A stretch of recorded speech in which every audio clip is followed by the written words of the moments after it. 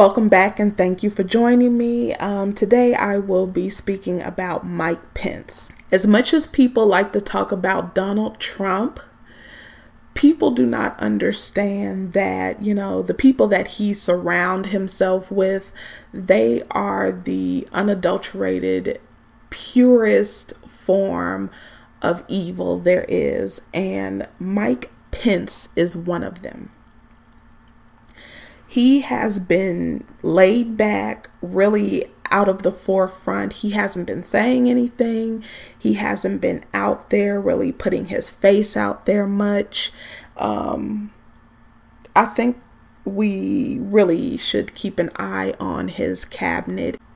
I think we should keep an eye on who he surrounds himself with in his administration. Because here in Indiana, because I'm here in Indiana, um, Mike Pence is very sneaky and slick. He is really about money and his career. And you can put a period on that. That's basically what he is about. And he is always looking for an opportunity.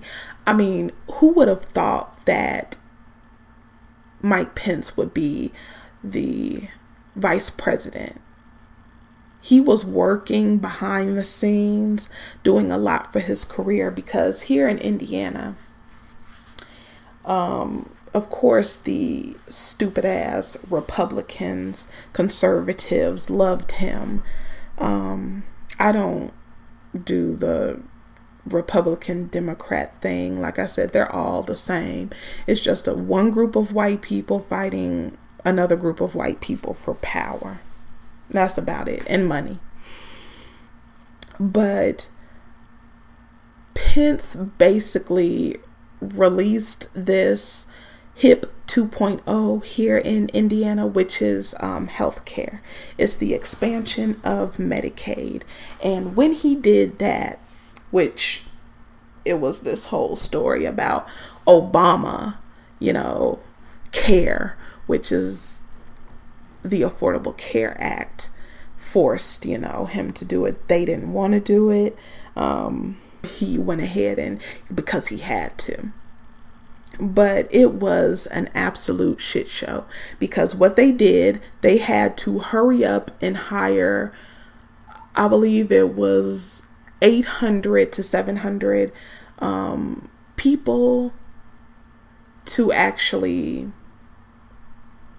take on this project because before um, it was closed, the HIP program closed down, the first one that he did. Um, so called ran out of funds. No, it made its way into his offshore bank account, but he did this HIP 2.0 program, which I was a part of. So that's how I was able to get into the um, Department of Human and Family Services. And I learned a lot of things that go on behind the scenes because of this program. When we were brought on to handle this, there was nothing to handle. They came up with this bullshit on a whim and he wanted to put his name. He just told them to come up with whatever and just send out, you know, vague information about. We were trained on, you know, Medicaid and the different types of Medicaid that people would fall under or could um, be approved for, and also the guidelines of this HIP 2.0 coverage, which what it is um, it just opened up healthcare coverage to everyone um, because it was just for senior citizens and for the disabled and for um, children. And it just opened it up. And it was an absolute mess it was a mess. That's why I said I don't know why people would be scared to open a business or do something. People are literally scared to make this leap. People should not be scared to open a business or try and make something happen because if you know, if you work in a corporate plantation or in any of these companies, even Fortune 500 companies, it's a shit show.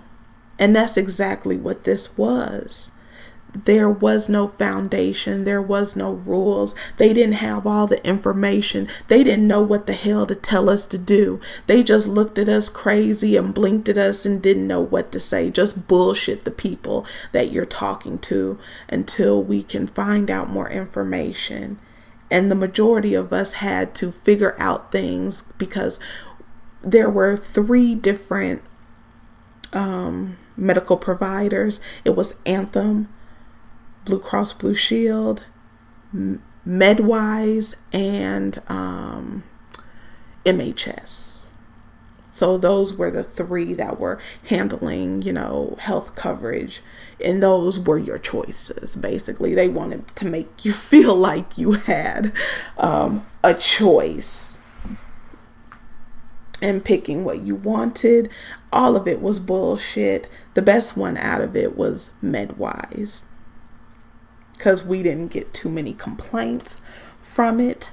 But yeah, it's it was really bad. And he never came up here. He sent a few of his representatives there, and there was some cameras there where we were. I wasn't on camera. I wasn't gonna be uh, in, you know, my face attached to that bullshit. I went on lunch when they brought the cameras in there, but yeah, they it it was we didn't know anything. We we had to figure it out. We just had to, you know, string people along until we knew what was going on. Cuz it was thrown together. And he held this whole like this um, state of the state regarding the HIP 2.0 program and he he cherry picked people to say that the HIP 2.0 plan saved their life. I'm sure it was a few people, it was a lot of poor people who didn't have access to health care at all. So they were able to get this, they were able to get something. But the vast majority of the people who came over from the Affordable Care Act, Obamacare, um, what they were doing was they were taking all of the people who were underneath the Affordable Care Act, they were routing um, their information as applications to um, the facility we were to see if they could be qualified for the HIP 2.0 program or any Medicaid coverage and they would be contacted if they were. They would be sent some information that they could look over and they could make a choice to um, go ahead and accept the hip 2.0 coverage or to stay with their affordable care coverage and I wish I could have been there at the state of the state and I would have told the truth. They would have got me by my arm and twisted it and broke it and then, you know, just beat the hell out of me for telling the truth because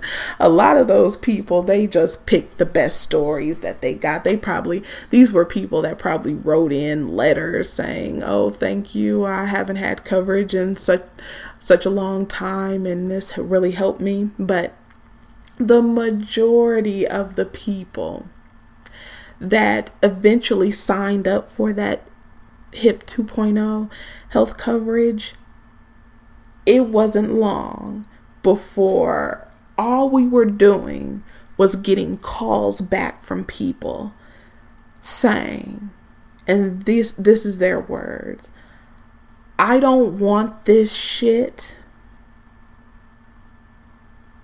I want my Affordable Care Act. I want my Obamacare. That's what they was because they didn't know it was the Affordable Care Act that got them that um, health coverage.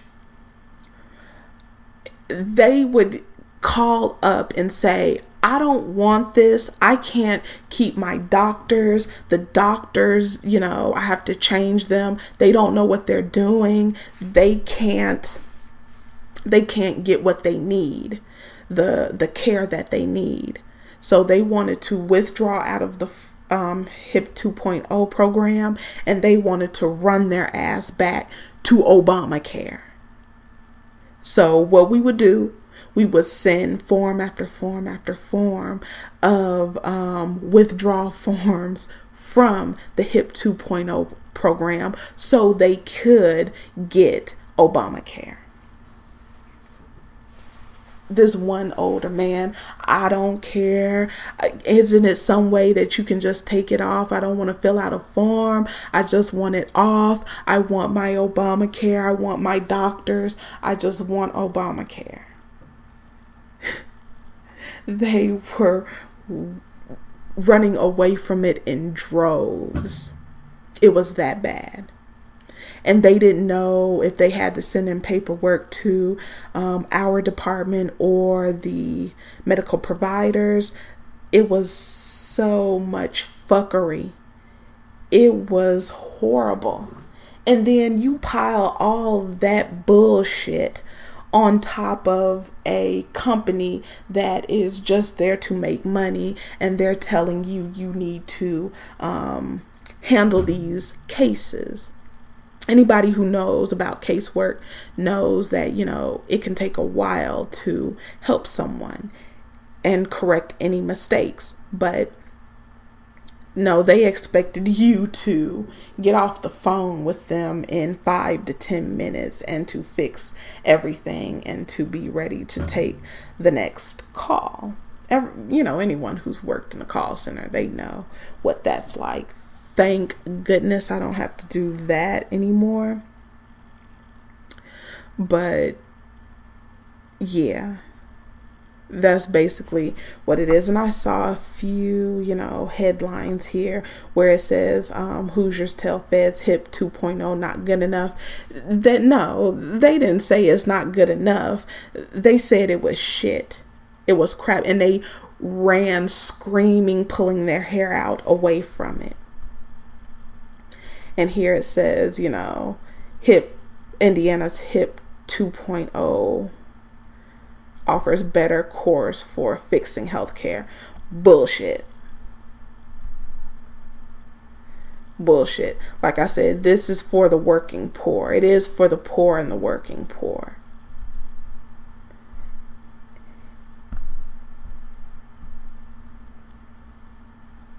And it's it, it no it's not. Oh my god i wish they would do that.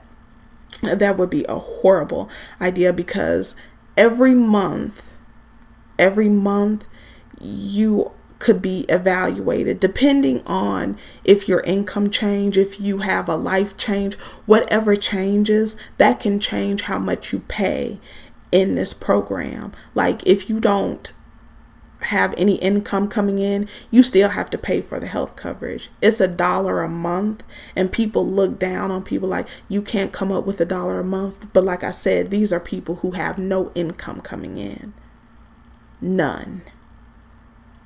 But then, you know, one month it could go from, you know, them asking you for a dollar a month or you could pay $12 for the year. And then a month or two later, they're saying you have to pay $32 a month because this income change or whatever. It could, it fluctuates and, you know, it, it depends on your income. But it was horrible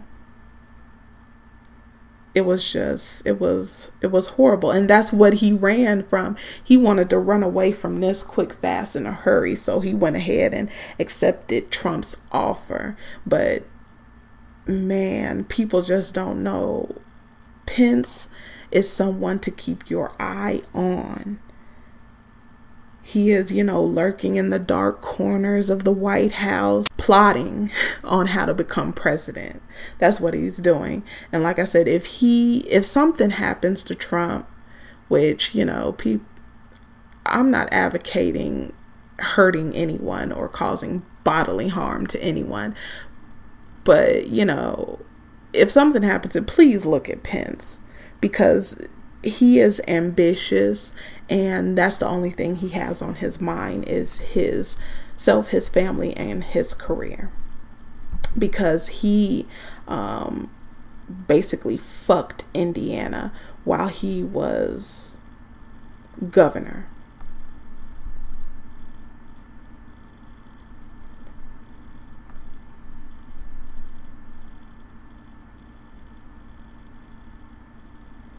And even here, you know, he used campaign funds to pay his mortgage and other expenses as if this is shocking. Just spending money on his wife.